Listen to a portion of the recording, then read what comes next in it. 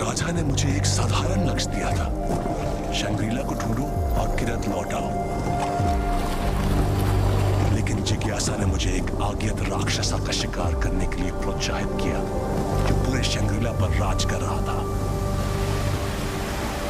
मैं अपने रास्ते और शंग्रीला के भविष्य को आपस में जुड़ा हुआ महसूस कर सकता था।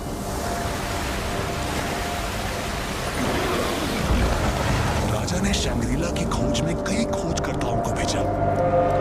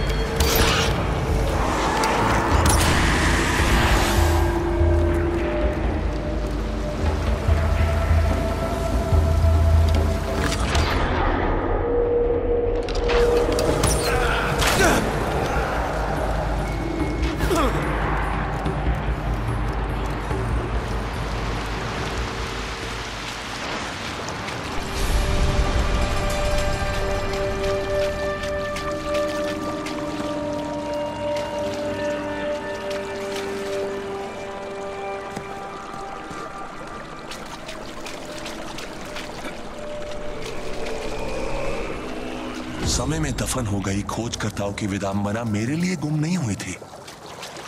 किरती योद्धा हमेशा जीने का सपना देखा करते थे, जैसे कि शिविर में किवंदांतियाँ थीं। मुझे शक था कि उनके दिमाग में अमरात्मा थी। अभी